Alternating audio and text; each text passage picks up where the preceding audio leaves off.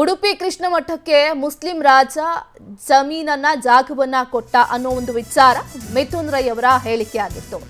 ಈ ಒಂದು ವಿಚಾರಕ್ಕೆ ಸಂಬಂಧಪಟ್ಟಂತೆ ಇದೀಗ ವಿವಾದ ತಾರಕಕ್ಕೇರ್ತಿದ್ದಂತೆ ಮಿಥುನ್ ರೈ ಪ್ರತಿಕ್ರಿಯೆಯನ್ನ ನೀಡಿದ್ದಾರೆ.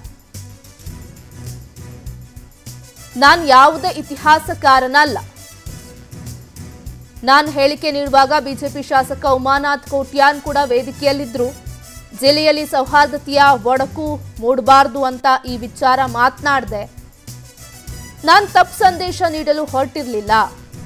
ತಪ್ಪಾಗಿದ್ರೆ ನಾನು ಕ್ಷಮಾಪಣೆ ಬೇಕಾದರೂ ಕೇಳ್ತೀನಿ. ಮೂಡುಬಿದ್ರಿಯಲ್ಲಿ ಕಾಂಗ್ರೆಸ್ ಮುಖಂಡರಾದಂಥ, ಕಾಂಗ್ರೆಸ್ ಆಕಾಂಕ್ಷಿಯಾಗಿರುವಂಥ ಮಿಥುನ್ ರೈ ಅವರು ಸ್ಪಷ್ಟನೆಯನ್ನ ನೀಡಿದ್ದಾರೆ.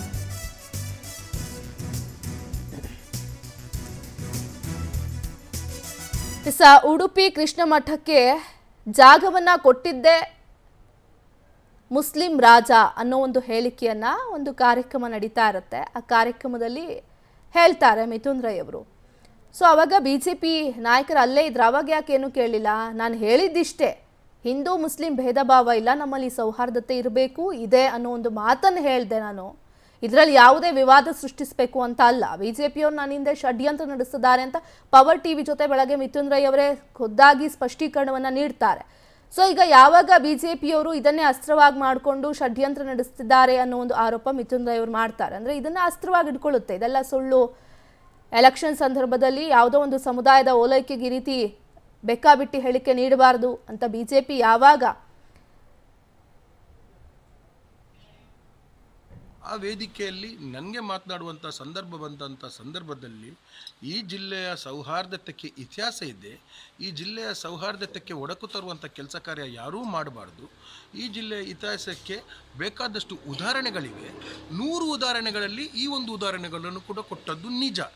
ಏನಂತ ಹೇಳಿದೆನೆಂದರೆ ಉಡುಪಿ ಶ್ರೀಕೃಷ್ಣ ಮಠಕ್ಕೆ ಜಾಗವನ್ನು ಕೊಟ್ಟದ್ದು ಮುಸಲ್ಮಾನ್ ರಾಜರಂತ. ನಾನು ಇತಿಹಾಸಗಾರನಲ್ಲ. ನನ್ನ ಉದ್ದೇಶ ಈ ಜಿಲ್ಲೆಯ ಸೌಹಾರ್ದತೆಗೆ ಒಡಕು ತರಬಾರ್ದು ಯಾರು? ನನ್ನ ಈ ಜಿಲ್ಲೆಯ ಸೌಹಾರ್ದತೆಯನ್ನು ಯಾರು ಕೂಡ ಹಾಳು ಮಾಡಬಾರ್ದು? ಜಾತಿ ಜಾತಿಯ ನಡುವಿನಲ್ಲಿ ವಿಷ ಬೀಜವನ್ನು ಬಿತ್ತಬಾರ್ದು. ಅದಕ್ಕೆ ನಾನು ಹತ್ತು ಉದಾಹರಣೆಗಳನ್ನು ಕೊಟ್ಟಿದ್ದೇನೆ. ಈ ಈ ಉದಾಹರಣೆಗೆ ನನಗೆ ಪ್ರೇರಣೆ ಎಲ್ಲಿಂದ ಅಂತ ಹೇಳಿದರೆ ಪರಮಪೂಜ ಪೇಜಾವರ ಶ್ರೀಗಳು ಕೊಟ್ಟಂತಹ ಹೇಳಿಕೆ.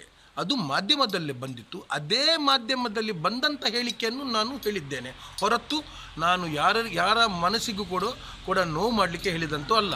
ಆ ವೇದಿಕೆಯಲ್ಲಿ ನನಗೆ ಮಾತನಾಡುವಂಥ ಸಂದರ್ಭ ಬಂದಂಥ ಸಂದರ್ಭದಲ್ಲಿ ಈ ಜಿಲ್ಲೆಯ ಸೌಹಾರ್ದತೆಗೆ ಇತಿಹಾಸ ಇದೆ. ಈ ಜಿಲ್ಲೆಯ ಸೌಹಾರ್ದತೆಗೆ ಒಡಕು ತರುವಂಥ ಕೆಲಸ ಕಾರ್ಯ ಯಾರೂ ಮಾಡಬಾರ್ದು. ಈ ಜಿಲ್ಲೆಯ ಇತಿಹಾಸಕ್ಕೆ ಬೇಕಾದಷ್ಟು ಉದಾಹರಣೆಗಳಿವೆ. ನೂರು ಉದಾಹರಣೆಗಳಲ್ಲಿ ಈ ಒಂದು ಉದಾಹರಣೆಗಳನ್ನು ಕೂಡ ಕೊಟ್ಟದ್ದು ನಿಜ. ಏನಂತ ಹೇಳಿದೆನೆಂದರೆ ಉಡುಪಿ ಶ್ರೀಕೃಷ್ಣ ಮಠಕ್ಕೆ ಜಾಗವನ್ನು ಕೊಟ್ಟದ್ದು ಮುಸಲ್ಮಾನ್ ರಾಜರಂತ. ನಾನು ಇತಿಹಾಸಗಾರನಲ್ಲ. ನನ್ನ ಉದ್ದೇಶ ಈ ಜಿಲ್ಲೆಯ ಸೌಹಾರ್ದತೆಗೆ ಒಡಕು ತರಬಾರ್ದು ಯಾರು? ನನ್ನ ಈ ಜಿಲ್ಲೆಯ ಸೌಹಾರ್ದತೆಯನ್ನು ಯಾರು ಕೂಡ ಹಾಳು ಮಾಡಬಾರ್ದು? ಜಾತಿ ಜಾತಿಯ ನಡುವಿನಲ್ಲಿ ವಿಷ ಬೀಜವನ್ನು ಬಿತ್ತಬಾರ್ದು. ಅದಕ್ಕೆ ನಾನು ಹತ್ತು